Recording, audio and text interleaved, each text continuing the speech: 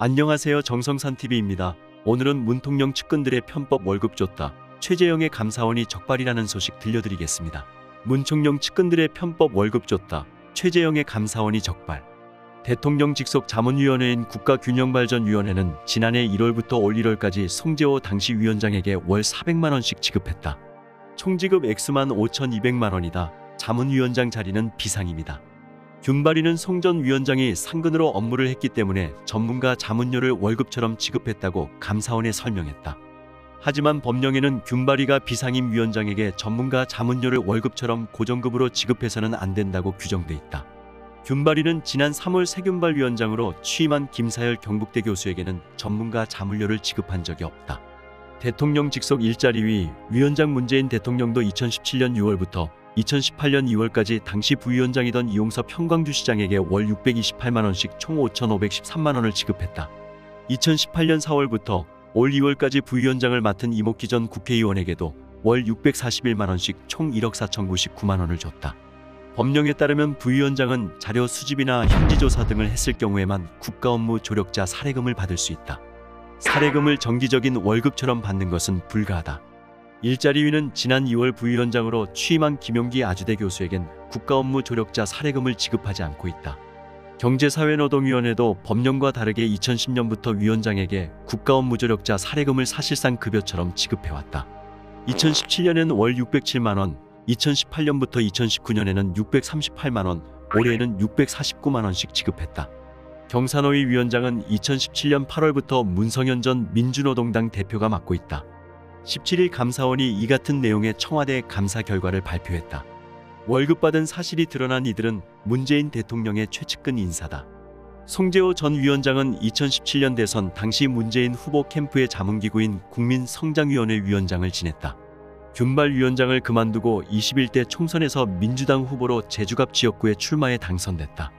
이 시장은 2017년 대선에서 문재인 후보 캠프 비상경제대책단장을 맡았고 이전 의원은 2012년 대선에서 문재인 후보 캠프 기획본부장을 맡았다. 이 때문에 정치권에선 감사 결과도 이례적이고 공표했다는 사실도 이례적난 평가다.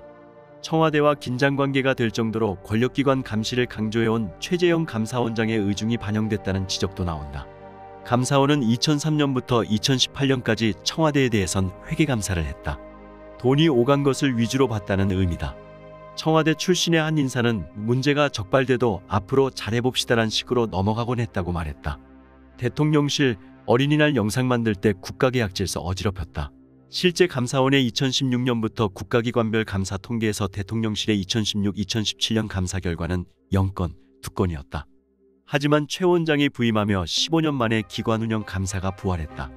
대통령실에 대한 감사 결과가 2018-2019년 각각 8건, 7건으로 늘었다. 이번엔 현 정부 들어 처음으로 대통령 직속 자문위원회 내곳, 균발위, 경산호위, 일자리위, 정책기획위원회도 함께 감사했다. 강도가 상당히 셌다는 평가가 나온다. 감사원은 일자리위가 무기계약직을 뽑으면서 나이를 이유로 지원자를 차별한 사실도 적발했다. 일자리위는 2017년 5월 무기계약직 운전원을 채용하면서 채용공 고상에는 나이 요건을 명시하지 않았지만 서류 전형을 하며 50세가 넘는 지원자 4명을 탈락시켰다. 일자리 위는 감사원에 특정 연령대만 뽑은 사실이 없다고 주장했다. 하지만 감사 과정에서 서류 전형 선발 기준으로 나이 35에서 50세가 명시된 내부 결제 문서가 발견됐다. 일자리위는 2018년 4월에는 비서를 채용하면서 청년 우대를 이유로 35세가 넘은 3명을 서류 전형에서 탈락시키기도 했다. 균발위를 두고도 감사원은 지역의 목소리를 듣겠다며 국민소통특별위원회를 만들었지만 2018년 1월 이후 두 차례 회의만 열었다고 지적하며 폐지하거나 형식적으로 운영되는 일이 없도록 하라며 주의를 줬다. 감사원은 이날 대통령실이 지난 5월 어린이날 기념 영상을 만들면서 법에 규정된 절차를 거치지 않고 용역업체에 5천만 원을 지급했다는 감사 결과도 발표했다. 또 사후 계약을 체결하는 등 국가계약법 11조를 위반해 계약 질서를 어지럽혔다며 주의도 통보했다.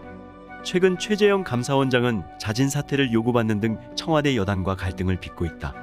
2018년 6월 한국수력원자력 한수원 이사회의 월성 1호기 조기 폐쇄가 문재인 정부의 탈원전 기조를 맞추기 위해 급조한 것 아니냐는 국회의 감사 요구에 대해 감사원이 정치적 고려 없이 감사한 게 결정적 계기였다. 더불어민주당에서 문 대통령의 공약을 의도적으로 흠집내려 한다. 결과를 정해놓고 감사한다며 최 원장의 탄핵을 요구하는 목소리가 나왔다. 공석인 감사위원 자리를 두고 청와대가 김호수 전 법무부 차관을 제안했지만 이를 최 원장이 거부한 것도 관계를 더 악화시켰다는 평가다. 이에 따라 일각에선 대통령 직속 자문위 등에 대한 엄정한 감사가 최재형의 반격 아니냐는 해석도 나온다. 하지만 감사원 측은 어떤 정치적 의도도 없다. 문제가 있는 것을 문제가 있다고 밝힌 것이다. 이를 숨기는 게 더 이상한 것 아닌가라고 했다. 이와 관련 청와대 관계자도 감사원 감사 결과에 대해 청와대는 특별한 입장이 없다고 말했다. 뜨거운 가슴으로 이거를 잘 극복을 하셔서 윤석열 캠프에 있는 분들 오피니언 칼럼들과 이러한 담론들과 윤석열 호의 선거 캐치 프레이즈를 보고 제대로 가시길 바라겠습니다. 다음 시간에 뵙겠습니다. 여기까지가 오늘의 소식입니다. 정성산 TV 구독, 좋아요, 알림 설정 부탁드립니다. 감사합니다.